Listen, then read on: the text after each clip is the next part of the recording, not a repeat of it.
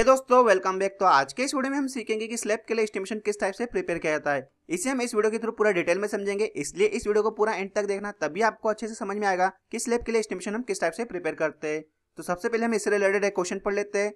Prepare detail estimate of slab having size of 3.80 metre by 6.30 metre was drawing given below also prepare abstract sheet with materials quantity calculation हमें क्या करना है? एक slab है, जिसकी size कितनी है? 3.80 मीटर बाय 6.30 मीटर उसके लिए हमें डिटेल एस्टिमेट प्रिपेयर करना है। यानी उसके लिए मेज़रमेंट शीट और एब्स्ट्रैक्ट शीट दोनों प्रिपेयर करनी है। साथ ही हमें क्वेश्चन में और क्या बोला हुआ है? हमें क्वांटिटी ऑफ़ मटेरियल भी कैलकुलेट करना है। यानी इस स्लेब के कंस्ट्रक्शन के लिए हमें कितना सीमेंट सेंड एग्रीगेट स्टील हमें रिक्वायर्ड होगा? उनकी क्वांटिटी भी हमें कैलकुलेट करनी है।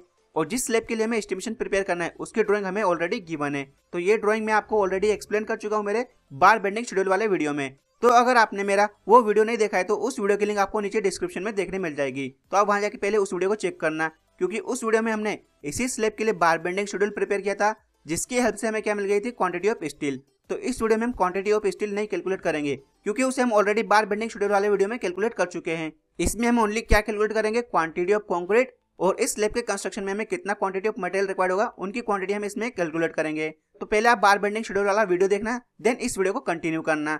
तो अभी हम इस स्लेब का एस्टिमेशन प्रिपेयर करना स्टार्ट करते हैं। तो जब भी हम किसी स्ट्रक्चर का एस्टिमेशन प्रिपेयर करते हैं तो उसके लिए हम क्या बनाते हैं? मेज़रमेंट शीट और एब्स्ट्रैक्ट शीट तो सबसे पहले हम देख लेते हैं मेज़रमेंट शीट जिसमें हमें क्या मिलती है? क्वांटिटी ऑफ़ वर्क तो सबसे पहले हम देख लेते हैं मेज़रमेंट शीट ये सारा कैलकुलेशन हम ऑलरेडी कर चुके हुए हैं। तो सबसे पहले हम देख लेते हैं मेज़रमेंट शीट तो मेज़रमेंट शीट में हमें क्या मिलेगी? क्वांटिटी ऑफ़ वर्क तो सबसे पहले हम देख लेते हैं RCC work one ratio two ratio four excluding steel यानी क्वांटिटी ऑफ़ कॉन्क्रीट हमारे पास नंबर ऑफ़ स्लेब कितने वन स्लेब की साइज़ कितनी है? 3.80 मीटर उसकी लेंथ और विथ कितनी आ गई? 6.30 मीटर उसकी विथ आ गई। उसकी हाइट यानी उसकी थिकनेस उसकी थिकनेस कितनी है? 0.12 मीटर यानी 12 सेंटीमीटर जो कि आपको ड्राइंग में शो हो रही होगी। यहाँ पे आपको देखने मिल रही होगी इसकी थिकनेस कितनी है? 12 सेंटीमीटर जिसे हम क्या बोल सकते हैं? उसकी हाइट भी बोल सकते हैं।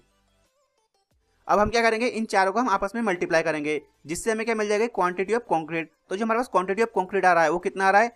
2.873 क्यूबिक मीटर ये आ गई हमारे पास कंक्रीट की क्वांटिटी अब नेक्स्ट हम देख लेते हैं स्टील की क्वांटिटी हमें कितना स्टील रिक्वायर्ड होगा, उनकी क्वांटिटी भी हम देख लेते हैं। तो उनकी क्वांटिटी हम ऑलरेडी कैलकुलेट कर चुके हैं इन बार बेंडिंग शेड्यूल में। तो बार बेंडिंग शेड्यूल की हेल्प से हम क्या करेंगे? इस मेज़रमेंट शीट को कंप्लीट करेंगे। तो सबसे पहले हम देख लेते हैं मेन बार्स जिनका डायमीटर कितना है? सिक्सटीन एम का। उनके नंबर हमें कितने रिक्वायर्ड है? फोर्टी थ्री जो कि आपको यहाँ पे देखने मिल रहे होंगे बार बेंडिंग शेड्यूल के टेबल में।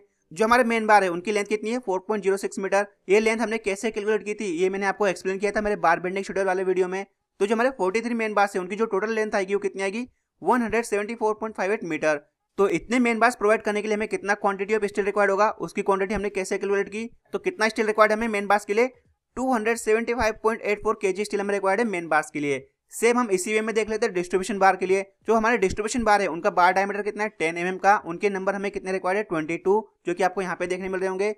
जो हमारे डिस्ट्रीब्यूशन बार है, उनकी लेंथ कितनी है? Six point four six metre तो 22 बार्स के लिए जो टोटल लेंथ आएगी, वो कितनी आएगी? 142.12 मीटर, ये आगे उनकी टोटल लेंथ और उसके लिए हमें कितना क्वांटिटी ऑफ़ स्टील रिक्वायर्ड होगा? 88.12 केजी स्टील हमें रिक्वायर्ड होगा डिस्ट्रीब्यूशन बार के लिए। तो जो हमें टोटल क्वांटिटी रिक्वायर्ड होगी स्टील की, वो हमें कैसे मिलेगी? हम इन दोनों बार्स के लिए जितना स्टील रिक्वायर्ड है, उन दोनों का हम सबमिशन कर देंगे, जिससे हमें क्या मिल जाएगी? टोटल क्वांटिटी ऑफ़ स्टील तो जो हमारे पास टोटल क्वांटिटी ऑफ़ स्टील आ रही है, वो कितनी आ रही है? 363.96 केजी स्टील हमें रिक्वायर्ड है इस स्लेब के कंस्ट्रक्शन के लिए। अब हम क्या करते हैं? जो हमारे पास स्टील की क्वांटिटी इन किलोग्राम से, उसे हम किसमें चेंज करते हैं? क्विंटल में। तो क्विंटल में चेंज करने के लिए हम क्या करते हैं? उसे हंड्रेड से डिवाइड करेंगे। तो हमारे पास वैल्यू आ जाएगी इन क्विंटल तो जो हमारे पास इन क्विंटल वैल्यू आ रही है क्वांटिटी ऑफ़ स्टील की, वो कितनी आ रही है? अप्रोक्सीमेट 3.64 क्विंटल स्टील हमें रिक्वायर्ड है इस स्लैब के कंस्ट्रक्शन के लिए। तो यहाँ पे जो हमारी मेज़रमेंट शीट है, वो कंप्लीट हुई। अब हम नेक्स्ट देख लेते हैं एब्स्ट्रैक्ट शीट जिसमें हमें क्या मिलेगा? इन वर्क को करने के लिए हमें कितना अमाउंट रिक्वायर्ड होगा? तो हम देख लेते हैं एब्स्ट्रैक्ट शीट भी।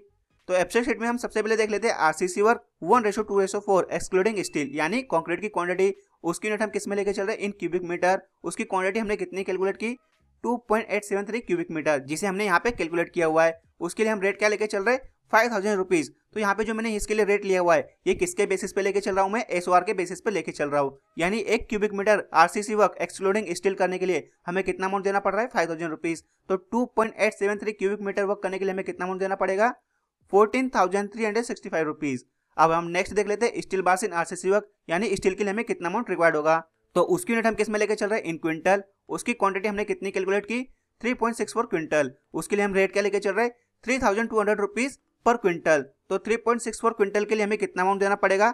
Eleven thousand six hundred forty eight अब हम नेक्स्ट क्या करेंगे? टोटल कॉस्ट कैलकुलेट करेंगे। यानी RCC work plus steel work जो हमें रिक्वायर्ड था, उन दोनों के लिए हमें कितना अमाउंट रिक्वायर्ड होगा? उससे हमें क्या मिल जाएगा? टोटल कॉस्ट तो टोटल कॉस्ट हमें कैसे मिलेगा? इन दोनों के अमाउंट का सबमिशन करने के बाद। तो जो हमारा टोटल कॉस्ट आ रहा है, वो कितना आ रहा है? Twenty six thousand thirteen rupees ये आ गया हमारे पास टोटल कॉस्ट लेकिन जो हमारी वेबसाइट शीट है, वो अभी कंप्लीट नहीं हुई है, क्योंकि इसमें अभी हम और क्या ऐड करेंगे? कंटिजेंसीज और वर्क चार्ज स्टेब्लिशमेंट तो कंटिजेंसीज हम लेके चलते five percent and work charge establishment हम लेके चलते टू परसेंट या टू पॉइंट फाइव परसेंट तो यहाँ पे मैं टू परसेंट लेके चल रहा हूँ। तो इसमें हम टोटल कितना ऐड करेंगे? Seven percent extra for contingencies and work charge establishment यानी जो हमारा टोटल कॉस्ट है, उसका सेवन परसेंट क्या आएगा? कंटिजेंसीज और वर्क चार्ज स्टेब्लिशमेंट तो जो टोटल कॉस्ट का सेवन परसेंट आया, वो कितना आया हमारा work charge establishment one thousand eight hundred twenty rupees and ninety one paise ये आ गया हमारा वर्क चार्ज स्टेब्लिशमेंट और कंटिजेंसीज के लिए अमाउंट अब हम क्या करेंगे? इसी अमाउंट को हम टोटल कॉस्ट के अंदर इंक्लूड कर देंगे, जिससे हमें क्या मिल जाएगा? फाइनल अमाउंट इस स्लैब के कंस्ट्रक्शन का. तो जो हमारे पास टोटल अमाउंट आया इस स्लैब के कंस्ट्रक्शन के लिए, वो कितना रहा है?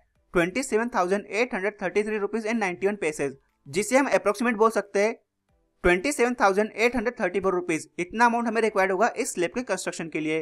तो यहाँ पे जो हमारी एब्स्ट्रैक्ट शीट है, वो भी कंप्लीट हो गई। यानी जो हमारा एस्टिमेशन है, इस स्लैब के लिए वो कंप्लीट हुआ। लेकिन क्वेश्चन में हमें एक और चीज़ बोली हुई है क्वांटिटी ऑफ़ मटेरियल्स यानी इस स्लेब के कंस्ट्रक्शन के लिए जो हमें मटेरियल्स रिक्वायर्ड है, उनकी क्वांटिटी भी हमें कैलकुलेट करनी है। तो हम नेक्स्ट देख लेते हैं क्वांटिटी ऑफ़ मटेरियल्स हम कैसे कैलकुलेट करते हैं।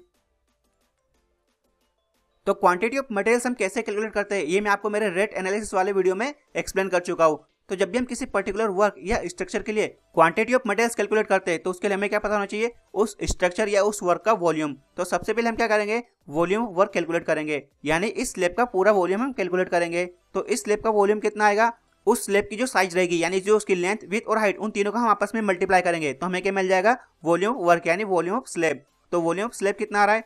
तो जो हमारे स्लेब की साइज़ है, वो कितनी है? 3.80 मीटर उसकी लेंथ है 6.30 मीटर उसकी विथ है और 0.12 मीटर उसकी हाइट है। जैसे हमने इन तीनों का आपस में मल्टीप्लाई किया तो हमें क्या मिल जाएगा? वॉल्यूम वर्क तो जो हमारे पास वॉल्यूम वर्क आ रहा है, वो कितना आ रहा है?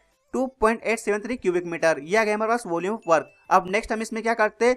52 परसेंट एक्स्ट्रा एड करते हैं फॉर वर्ड्स के लिए, जिससे हमें क्या मिल जाएगा? ड्राई वॉल्यूम ऑफ़ कॉन्क्रीट तो जो ड्राई वॉल्यूम ऑफ़ कॉन्क्रीट मिलेगा, हमें कैसे मिलेगा?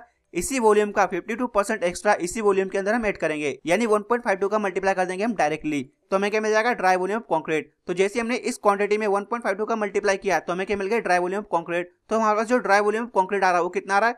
4.37 क्यूबिक मीटर यह आ गया हमारे पास ड्राई वॉल्यूम ऑफ़ कॉन्क्रीट अब इसी क्वांटिटी से हमें क्या मिलेगा? सीमेंट की क्वांटिटी सैंड की क्वांटिटी और एग्रीगेट की क्वांटिटी तो अब हम देख लेते हैं इतने क्वांटिटी के कंक्रीट के लिए हमें कितना सीमेंट सेंड और एग्रीगेट रिक्वायर्ड होगा। लेकिन हमें उसके लिए क्या पता होना चाहिए? जो हमारा सीमेंट कंक्रीट है, उसका मिक्स प्रोपोर्शन हमें पता होना चाहिए। तो यहाँ पे हम जो कंक्रीट यूज़ कर रहे हैं, उसका मिक्स प्रोपोर्शन क्या है? One ratio two ratio four जिसे कि मैंने मेज़रमेंट शीट के अंदर भी लिखा हुआ है।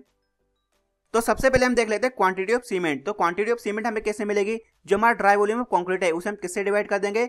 जो हमारे कंक्रीट का मिक्स प्रोपोर्शन है, उसके सबमिशन से हम उसको डिवाइड कर देंगे और उसमें किसका मल्टीप्लाई करेंगे? जो सीमेंट के लिए जो रेशियो स्टैंड करता है, उसका हम इसमें मल्टीप्लाई करेंगे, जिससे हमें क्या मिल जाएगी? क्वांटिटी ऑफ़ सीमेंट तो जैसे हमने इसे सोल्व किया तो हमें क्या मिल जाएगी? क्वांटिटी ऑफ़ सीमेंट तो जो हमारे पास क्वांटिटी ऑफ़ सीमेंट आ रही है कितनी आ रही है?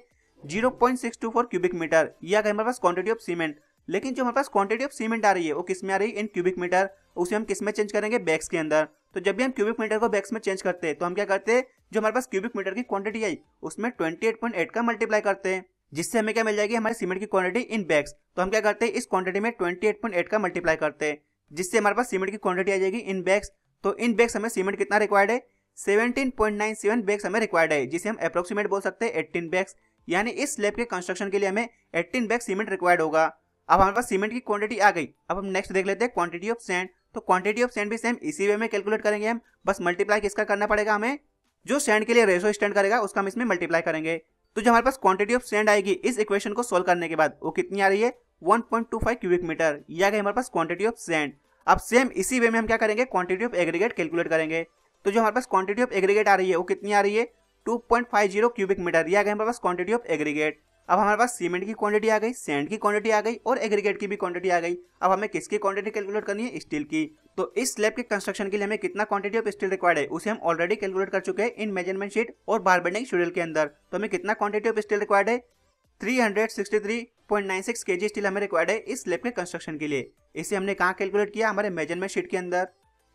इसे हमने यहाँ पे कैलकुलेट किया हुआ है और ये हमें कहाँ से मिला था? बार बेंडिंग शेड्यूल की हेल्प से। तो इतना क्वांटिटी ऑफ़ स्टील हमें रिक्वायर्ड है इस स्लेब के कंस्ट्रक्शन के लिए। अब नेक्स्ट हम देख लेते हैं बाइंडिंग वायर्स की क्वांटिटी तो जो बाइंडिंग वाइज की क्वांटिटी है, उसे हम कैसे कैलकुलेट करेंगे? जो हमारा स्टील का वेट है, उसका 1.5 परसेंट हम क्या लेकर चल रहे हैं? बाइंडिंग वाइज की क्वांटिटी तो जो बाइंडिंग वाइज की क्वांटिटी आएगी, वो कैसे मिलेगी? जो हमारा क्वांटिटी ऑफ़ स्टील है, उसका 1.5 परसेंट क्या आएगा? बाइंडिंग वाइज की क्वांटिटी तो जो बाइंडिंग वाइज की क्वांटिटी आई, वो कितनी आई? 5.46 केजी इतना बाइंडिंग वायर हमें रिक्वायर्ड होगा स्लेब के बार्स को आपस में बाइंड करने के लिए.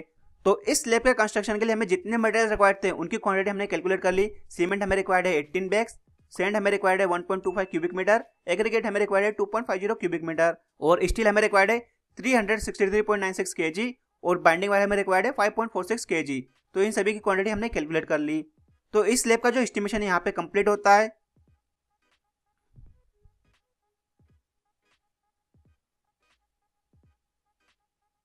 तो आई होप आपको वीडियो समझ में आया तो अगर वीडियो आपको समझ में आए और वीडियो आपके लिए हेल्पफुल है तो वीडियो को जो लाइक करना, साथ ही इस वीडियो को अपने दोस्तों के साथ ज़रूर शेयर करना, जिससे उन तक भी इससे रिलेटेड इन्फॉर्मेशन पहुँच सके। और इसके अलावा, अगर आप मेरे चैनल पर नए हो तो चैनल को भी ज़रूर सब्सक्राइब करना और साथ में बेल का आइकन प्रेस कर देना, जिससे कि आपको आने वाली वीडियोस की नोटिफिकेशन मिल सके। तो मिलते हैं नेक्स्ट वीडियो में, जिसमें हम सीखेंगे कि बीम के लिए एस्टिमेशन किस टाइप से प्रिपेयर करते हैं। तो जब तक आप सभी अपना ध्यान रखना थैंक यू सो मच